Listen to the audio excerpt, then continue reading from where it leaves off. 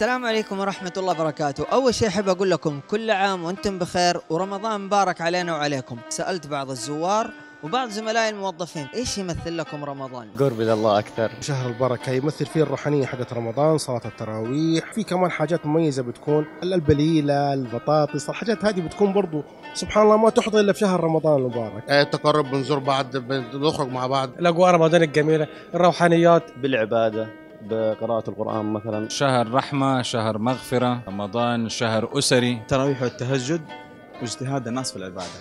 جمعة أهل. الأجواء الروحانية كبيرة جدا. زيارة أقارب روح...